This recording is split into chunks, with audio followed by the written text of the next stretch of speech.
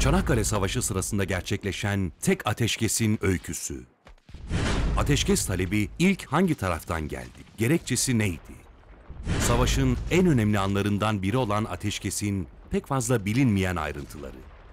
Ateşkese giden süreç nasıl oluştu? Görüşmelerden ne sonuç çıktı? Kara harekatı başlayalı 25 gün olmuştu. Kıyıda tutunmayı başaran Anzaklar derin siperler kazmış, istikamlarını güçlendirmişti. 5. Ordu Komuta Merkezi'nden İstanbul'a sürekli umutlu haberler gidiyor. İstanbul'da büyük bir taarruzla düşmanın denize dökülmesi için bastırıyordu. Bu baskılar 19 Mayıs sabahı büyük bir felakete beraberinde getirecekti. Savaş kilitlenmiş, iki tarafta ortada kalan ölü ve yaralıların müdahale edemez olmuştu. 20 Mayıs günü saat 16 sularında Esat Paşa 5. Ordu Komutanı Liman Van Sanders'e düşman siperlerinde bir Kızılaç bayrağı dalgalandığını haberini verecekti. Liman Paşa da siz de bir Hilali Ahmer bayrağı çıkarın ve ortada buluşun diye karşılık verdi. İlk ateşkesin hikayesi de böylece başlamış oldu. Özellikle ara bölgede kalan yaralıların iniltileri artık dayanılmaz bir hal almıştı. Sıcakta çürüyen bedenler hem kötü bir koku yayıyor hem de salgın hastalık riski oluşturmaya başlıyordu. Kızıl Haç bayrağı taşıyan İngiliz Kuvvetleri Komutanı'nın yaveriyle Hilal Ahmer bayrağı taşıyan Türk Teğmen iki siperin tam ortasında buluştu. Bu sırada her iki tarafta ateşi kesmişti. Bu aslında beklenmedik bir durumdu. Sonraki süreçte savaşın sona erdiği 9 Ocak gününe kadar bir daha ateşkes imzalanmayacak, silahlar sadece doğal olaylarda susacaktı. Kuzey Grubu Kurmay Başkanı Yarbay Fahrettin Altay o günü şöyle anlatacaktı.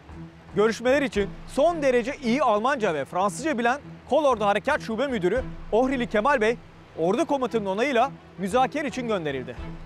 Anzak 2. Tümen İstihbarat Subayı Aubrey Herbert da ona karşılık Türklere rehin bırakıldı. Ohrili Kemal Bey'in gözleri bağlandı.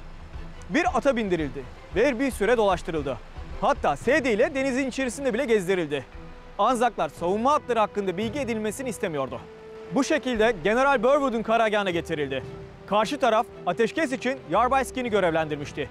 İkili ön görüşmeyi yaptı. Böylelikle 1915'teki ilk ateşkes de burada imzalandı.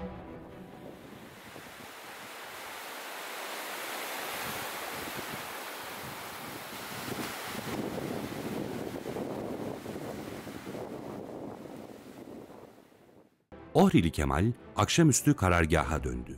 Yanında General Birdwood'un Esat Paşa'ya yazdığı mektup da vardı. Onun gelişiyle birlikte rehin tutulan Aubrey Herbert da teslim edildi. Delegelerin hazırladığı anlaşmayı Liman Paşa da onayladı.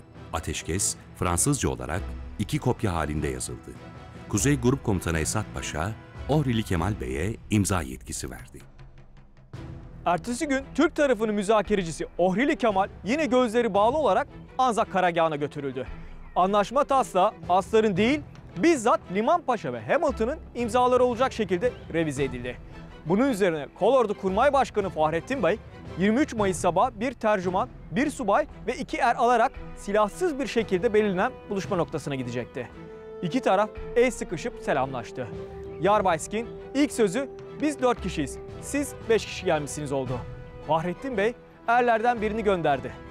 İngiliz yarbay işin uzamaması için gecikme, kurtarılma ihtimali olan yaralıların hayatı tehlikeye sokabilir, maksadımız onları kurtarmak diyecekti.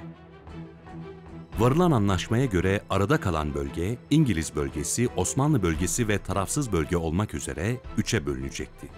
Türk tarafında binbaşı İzzettin Çalışlar'la yüzbaşı Mehmet Nasım, İngiliz tarafında Yarbay Andrew Sikin ve binbaşı Thomas Blamey, ikişer doktor, ikişer tercümanla yüzer asker görevlendirildi. Ateşkes 24 Mayıs günü sabah 7.30'da başlayacak ve 17'ye kadar devam edecekti. Sabah 7.45'te her iki tarafın temsilcileri kendi bölgelerine girdi. Ölü ve yaralılarla silah ve tesisatlar tarafsız bölgeye taşınmaya başlandı. Burada gerekli kontroller yapılacak, silahların mekanizmaları sökülecek ve geriye taşınacaktı. Merkeztepe civarındaki siperlerin arası çok yakındı. Buradan geçen askerler karşı tarafın siperlerinin içini görebiliyordu. Her iki taraf siperleri de silahlı ve süngülerini takmış askerlerle doluydu. Her ihtimale karşı iki taraf da hazır bekliyordu. Güney cephesi de bu durumdan haberdar edilmişti. toplanan cesetlerin tamamına yakın bizim şehitlerimize aitti. İngilizler bunları getiriyor, bizim tarafımıza bırakıyor, ardından sihiyecilerimiz de geriye taşıyordu. Kuzey Grup Komutanı Esat Paşa çalışmaları bulunduğu yerden dürbünüyle izliyordu. İzlenimleri şöyle anlatacaktı. İki taraf arasında bir etkileşim başlamıştı. Avustralyalılar bizim askerlerin hal ve hareketlerinden hoşlandıklarını belli ediyorlardı. Elbiselerinden kopardıkları düğmeleri hatıra olarak karşı tarafa veriyorlardı. Bizim askerlerin düğmeleri gizli olduğundan onun yerine ufak para benzeri hatıralar veriyorlar ve bir yandan da çikolata şeker ikram ediyorlardı. İşaretlerle anlaşmaya, iletişim kurmaya çalışıyorlardı. Bir Avustralyalı asker bizim en uzun boylu askerimizin boyunu ölçmeye çalışıyordu. Karşı siperlerden şehit askerlerimizin bedenleri gelmeye başlayınca bu dostluk ortamı yavaş yavaş kaybolmaya başlayacaktı. Sıcakta çürüyen bedenlerin kokusu dayanılmaz haldeydi. İngilizler rüzgar kendi tarafına estiği için bu kokudan çok rahatsız olmuşlar. Ateşkese zorlayan unsurlardan biri de bu olmuştu. Gelen şehit bedenleri gömülmeye başlandı. İşte o toplu mezarlardan biri de bulunduğumuz bu noktaydı. Özellikle 57. alın şehitleri bu bölgede defnedilmişti.